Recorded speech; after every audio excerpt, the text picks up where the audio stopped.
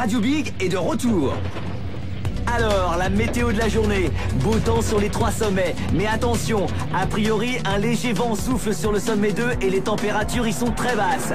Les frileux, les poseurs et les débutants peuvent rentrer chez eux. Si ça ne vous fait pas peur, n'hésitez pas, ce sera comme ça toute la journée.